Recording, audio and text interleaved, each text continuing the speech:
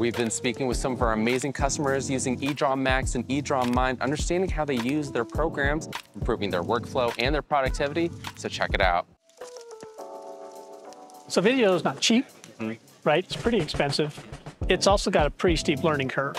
You know, if you really want to do anything beyond just really simple block diagramming, you got to have you have to have an understanding of what it's going to do, and you have to know what template set do I need to use. So I need to use the Dell template set because I'm using Dell hardware, or the Cisco template set because I'm doing this, that, the other. And then it's like, go find it, and there's a ton of them out there, but they're all behind some kind of paywall. EdrawMax, one-time fee, and it'll read and write Visio, and I can do whatever I need to do with it. I definitely am a I don't like to reinvent the wheel. If somebody already did a whole layout and all I have to do is maybe change the colors sure. or change the text, sure.